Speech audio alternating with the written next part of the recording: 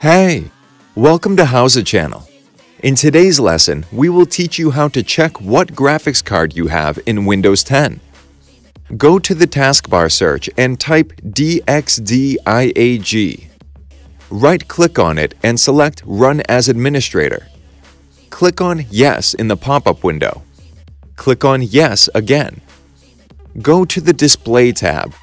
You will have a name of the graphics card you have in your PC. There's another way to find that out. Right-click on the Windows icon and select Computer Management from the list. Click on Display Adapters. You will see the name of the graphics card. That's it. Thanks for watching the video. Please like it and let us know if you use any of our tips and tricks. Subscribe to our channel.